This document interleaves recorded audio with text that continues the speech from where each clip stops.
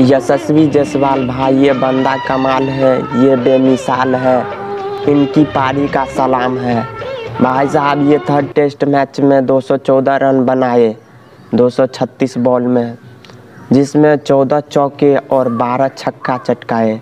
एक test match में दोहरा शतक लगाने वाले प्रथम बल्लेबाज बन चुके हैं यश जायसवाल, जिन्होंने मात्र 22 साल की उम्र में ऐसा करनामा कर दिखाया है। और इस नौजवान की चर्चा अभी सोशल मीडिया पे काफ़ी चल रहा है। इससे पिछले मैच में भी 209 रन बनाए थे और तभी से दो, एक टेस्ट मैच में दोहरा शतक लगाने वाले पूरे एशिया में सबसे नंबर वन पे अभी यशस्वी जायसवाल बन चुका है और इतिहास पे इतिहास बनाए जा रहे हैं।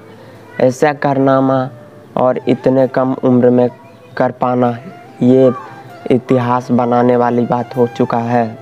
इनकी पारी की सलाम है ये लड़का। जहाँ भी उतरता है, वहाँ कुछ अलग करके ही आता है।